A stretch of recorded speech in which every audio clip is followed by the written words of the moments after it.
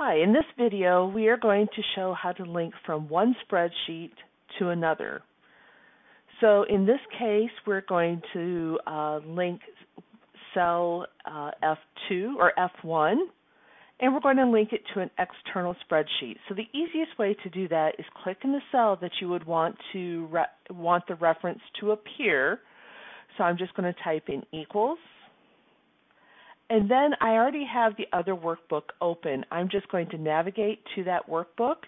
In this case, I want sheet 1, and I'm going to reference cell A1 and press enter. And if I press enter again, it'll bring that text over from worksheet 2 into this worksheet.